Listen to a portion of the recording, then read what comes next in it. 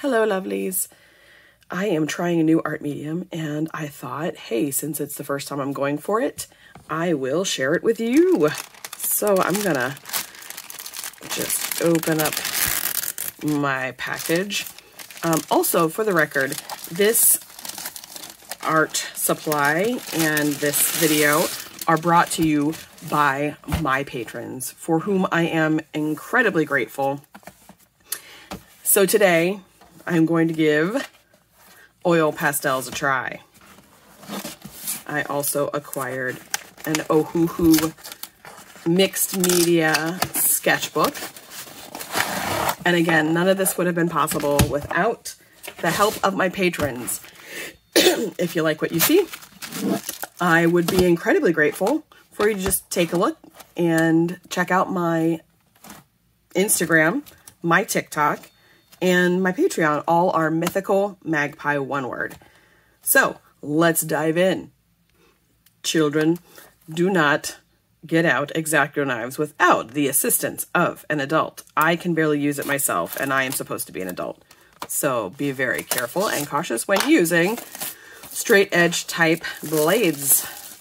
All right, wrapper is off. Let us see. Oh, Lovely, lovely. A very good range of colors. These are the Pentels. I acquired these because they were cheap, honestly, and I've never tried oil pastels before, so I wasn't sure whether or not I'd be any good at it or if I would love it. So I bought this, but, excuse me, because of who I am as a person, I couldn't wait. So I went to Blick as well. Blick is my favorite local art store and they have a great arrangement of an assortment of items and an incredible staff who helped me find exactly what I needed. Again, this is a small beginner set, and that is largely because I don't have any idea how these are going to work and if I'm going to like them or not. So we'll give it a shot. Let's see. I didn't realize the mixed media oh boy, would be wrapped in plastic. All of this plastic, I don't know what we're going to do with, but here we are. Okay, let's take a look. So this is 120 pound uh, paper, and there are 62 sheets. Let's see. Oh, awesome. Okay, so it comes with a clear-ish um, plastic sheets, likely so that you can set it in between pages so that it doesn't rub together. You'll have to forgive my coughing. I was really sick with the flu and um, we checked several times. It was not COVID. It was just a really bad flu. But anyway, I apologize for the coughing. I will do my best to try and uh, edit that as much as possible. But so these pages are all perforated, which is great. Um, I really like the fact that it's is able to lay flat. And if I decided to, I can take out each page relatively easily.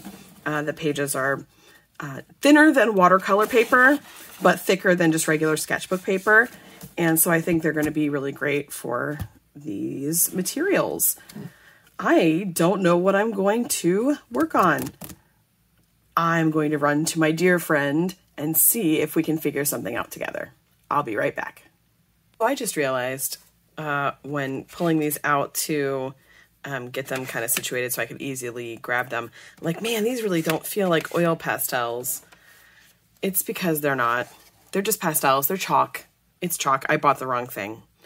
So I'm going to be putting this away for now and making a separate video um, drawing with regular pastels. Um, but because I'm a goofball, unfortunately, my delightful Blick um, product is not going to be used today. Now, the person that directed me to these um, directed me to the pastel aisle, and I made the ch choice to choose the wrong product. So it's not their fault. They were very helpful. Anyway, um, so I will be using the Pentel oil pastels. And in the meantime, I ended up calling my dear best friend and Miss Leah over at the Fairy of Lost Things and I are going to collaborate. So, what I did was we made a list of items that would be fun topics to potentially do art about. And I ended up putting them into a delightful little spinning wheel decision making thing because I'm not very good at making decisions. And we ended up coming up with pride, but make it goth. And so that is what I will be working on today. I have a couple of ideas and we will see how this works. I'm probably going to speed up this process and then do a voiceover later because I don't think anyone wants to watch this in real time. Maybe if I were streaming in some point in the future, I might do that, but you, dear viewer, are going to get the sped up version. So bear with me and I will be right back.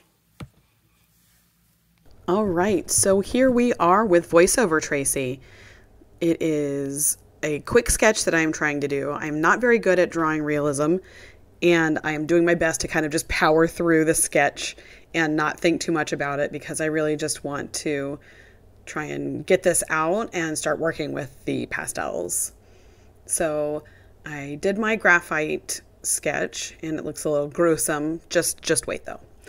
The first thing that I noticed was that these kind of had a very thick smell of like melted plastic. They it was really really strong and it took a while for me to kind of get used to it and I, I still smell it when I bring them out for the first time in a day or so. It's it's pretty noticeable still. Um, but what I'm learning right now is that I should not have left the graphite sketch so dark because the graphite is blending kind of in and muddying up the colors. And unfortunately, the colors are not particularly opaque uh, enough to kind of draw over the graphite, which I was kind of hoping. So I'm doing the best that I can, just trying to blend in with my fingers these colors. The next thing that I noticed was the detail parts of this drawing were going to be pretty hard. These are flat, round cylinders essentially of oil pastels. So they're not sharpened. And I didn't know that that was going to be a problem until I started and realizing that it was going to be really difficult for me to get in to the finer details with the sides of these. So I was kind of inaccurate with some of my, you know, some of the things that I was trying to, to, to do. But some of the colors themselves were great. I ended up having to get this makeup brush that I purchased for a dollar at the Dollar Tree, or dollar twenty-five technically, uh, because there are a lot of thick chunks that kind of come off the oil pastels, and if you try to smush them away with your finger, they'll smear and essentially input the pigment on where you don't want it. So I got this essentially makeup brush to kind of wipe away the pigment that kind of is left off in chunks. I, I'm enjoying myself, but I'm starting to understand that the finer detail and the blending are going to be kind of harder to do in smaller areas. If I were doing a larger painting or or drawing, I guess, or something that has less fine detail, this might not be a problem, but I think I'm going to have to find an alternative if I want to draw around this size or scale. So I think now that the drawing is kind of starting to come through, I think, I hope, that my lovely non binary Wednesday Addams is coming through. And I wanted to make sure that there was some pink in their hair, some white as well, some blue in the in the shirt to represent uh, non-binary or transgender people and the community. So this is when things started to go a bit awry. I was trying to get a more opaque look on the black sweater and when the background starts to come in you'll see the the struggle that i'm having because i'm used to watching creators like um, Black Bean CMS, who creates these incredibly juicy, thick, wonderful colors that are really opaque.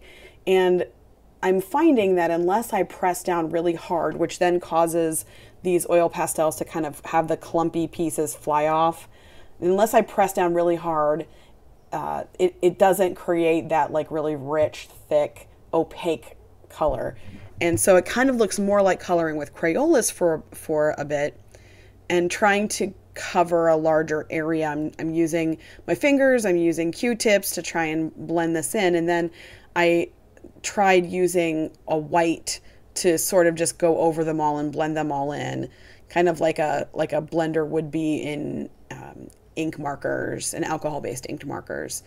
I ended up changing up the background, and it's it's different now than when I filmed it. And I'll be posting the updated image to my Instagram. But I was just really struggling with the background and trying to make it look neat and rich and juicy. Um, I ended up taking their eyeliner and making it even even thicker because why not? And this is me bringing in my marker, my acrylic marker. I did make a mistake, and as you can see there, the the oil pastel was able to cover up the mistake that I made with the the acrylic marker. So here is my finished picture. Pride but goth. I hope that you like them. I hope that you enjoyed our little time together. And I hope to see you back here soon. Happy Pride. In addition, I want to thank my patrons, without whom this would not be possible. Thank you all so much for your generosity and your belief in me. It is really, really meaningful. Thank everyone. Have a wonderful day. Be well. You are loved.